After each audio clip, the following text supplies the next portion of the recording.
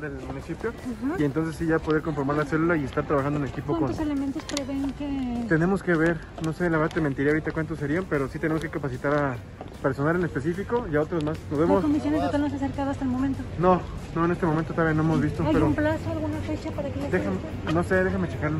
Es que sí está, sí falta, pero todavía, todavía no está nada. Ok, muchas gracias. Gracias.